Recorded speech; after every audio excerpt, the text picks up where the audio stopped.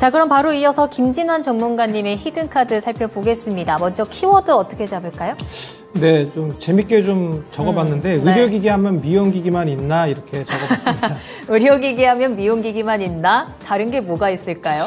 네, 뭐 의료기기 섹터에도 미용기기가 많이 들어가거든요. 아. 그리고 또 이제 뭐 미용기기 하면 뭐 지- 올해 아, 작년이었죠. 작년에 뭐 클래시스 등뭐 이루다 뭐 여러 가지 종목 제이시스 메디컬 같은 종목들이 어, 상당히 상승세가 좀 강했습니다. 그래서 올해도 지금 이런 의료기기 섹터에서 키워드가 미용기기 뭐 그리고 이제 뭐 임플란트 뭐 이런 쪽인데요. 네. 어 근데 어 당뇨 쪽도 좀 보시면 어떨까 해서 예 미리 좀 이야기 드리는데 그 네. 당뇨 쪽을 좀 가지고 나왔습니다. 뭐 네. 당뇨병 치료제가 뭐 비만약 쪽으로 가면서 만병통치약이 막 됐었죠. 그러니까 막, 막 그 만병통치약으로 막 알려지지 않았습니까? 뭐 신장에도 도움된다 뭐 이런 얘기가 있었는데 약도 있지만 이제 의료기기 쪽도 있겠죠. 그래서 그런 쪽을 제가 봤는데 글로벌 의료기기 시장 규모가 지난해가 5,700억 달러에서 이제 2032년에는 9,969억 달러, 우나 또한 1,330억의 아, 조에 1,333조 정도의 시장으로 확대될 그런 전망입니다. 그래서 뭐 의료기기 시장 쪽도 지속적으로 성장하는 그런 섹터이고요. 아무래도 뭐, 뭐, 그 노령화가 진행되고 있는 우리나라 같은 경우에도 뭐 당연히 어, 시장, 시장은 확대가 될 걸로 보이고 있고요. 국내 이제 이형 당뇨 이제 CGM이라 그래서 연속 혈당 측정기 이쪽 이제 보험 적용이 올해 7월 전망이 되고 있습니다. 그러니까 이형 당뇨라면 1형 당뇨는 좀 다른 게 1형 당뇨 같은 경우에는 그 소화, 즉 어릴 때부터 췌장에 어떤 문제가 있어서 아예 그냥 인슐린 분배가 분비가 되지 않은 그런 환자를 말하고요. 어, 지금 2형 당뇨라 하면 이제 성인이 보통 많이 발생하는 그런 당뇨병입니다. 그래서 어, 1형 환자 같은 경우에 국내 당뇨병의 어떤 2% 정도밖에 되지 않습니다. 그래서 2형 당뇨병 환자가 좀 핵심인데요. 예, 그래서 국내 2형 당뇨병 그 환자에 대한 보험 적용 이- 그것이 올해 7월 전망된다라는 점, 네, 그런 점을 보셔야 되겠고요. 그리고 이제 적어놨다시피 인슐린 투여 2형 환자는 1형 당뇨에 비해서 뭐 4배 규모입니다. 그래서 어떤 시장적으로 보면 상당히 시장 규모가 좀 더 크고요.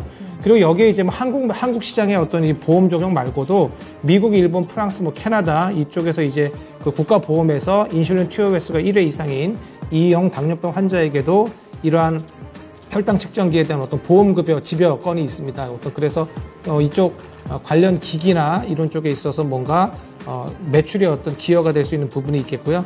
마지막으로 이제 미국의 이제 당뇨병 학회입니다. 여기에서 인슐린 치료받는 이형 환자 등에 대해서 또 이제 권 연속 혈당 측정기 이것을 또 권고하는 그런 이제 분위기거든요. 그래서 이런 점으로 봤을 때 어, 인슐린 쪽 특히 의료기기 쪽을 보시면 어떨까 합니다. 알겠습니다.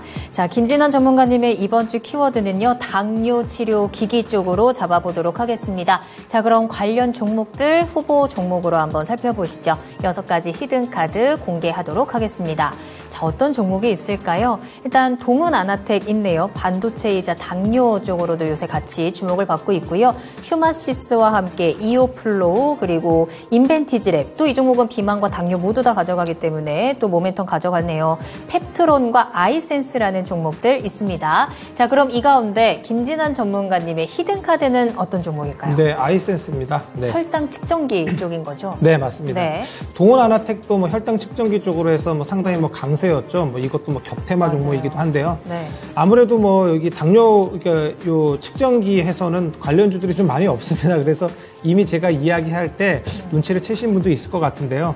뭐 크게 제가 뽑은 이유가 당장 2월 달에 어떤 이슈가 있습니다. 이, 2월 달에 카카오 헬스케어가 당뇨병 관리 솔루션 파스타를 출시합니다. 근데 여기에 이제 뭐 아이센스의 이제 연속 혈당 관리 측정기, 아, 방금 아까 말씀드린 CGM이죠. 이것을 이제 기반으로 한 이제 여러 가지 서비스 같은 것들을 제공하게 됩니다. 그래서 그 이슈가 뭐 상당히 큽니다. 단기적으로는 그런 부분도 있고요. 아무래도 이제 실적 시즌이다 보니까 실적을 무시하지 못합니다. 실적이 뭐 상당히 좋은 그런 종목입니다.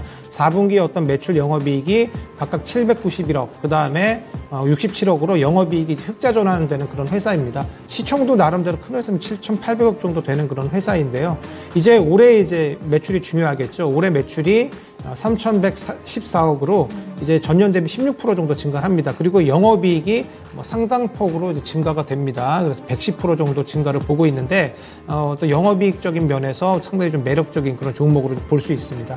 그리고 아까 방금 말씀드렸다시피 2월에 바로 카카오헬스 플랫폼 출시 건으로 이게 이제 아이센스의 기기를 이제 활용하는 그런 종목이거 그런 어떤 일정이거든요. 그래서 어, 단기적으로 이 모멘텀이 있다라는 점 그리고 아까도 말씀드렸다시피 어, 해외 특히 유럽에서의 1분기에 이 아이센스의 연속 혈당 측정기 요게 허가 승인 목표 예, 지금 두고 있습니다. 이 회사가 그리고 상반기 중에서는 또 국내 제약사와 함께 이 CGM 계약이 완료될 전망이고 아까 방금 말씀드렸다시피 제2형 환자에 대한 보험 등재권 그게 7월입니다. 그래서 1분기, 2분기 계속해서 이슈가 있고 그 다음에 당장 2월 달에도 이슈가 있는 종목이기 때문에 어, 보시면 좋을 것 같고요.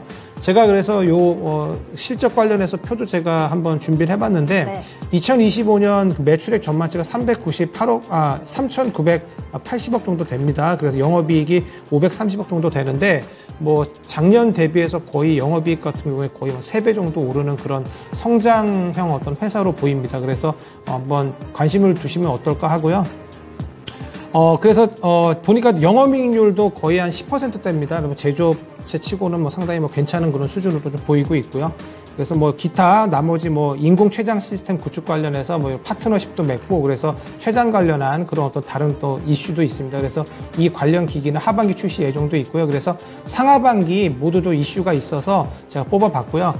매수가는 27,800원으로 오늘 종가보다 조금 더 아래로 잡았습니다. 조금 조정이 나오면 매수하시면 좋겠고요. 그리고 제가 목표가를 좀 너무 높게 잡아서 그래요? 많이 오르다가 좀 네. 내리는 그런 종목들이 좀 있어갖고 이 네. 목표가를 좀 짧게 잡았습니다. 원래는 한 34,000원 그 이상, 36,000원도 어. 갈수 있다라고 보는데 네. 목표가 달성을 좀 하고 싶습니다. 그래서 32,000원으로 좀 짧게 잡았습니다. 일부러 고정 네. 음. 예, 예, 뭐, 그, 그 감안하시고요. 손절가는 25,700원으로 잡아봤습니다. 네.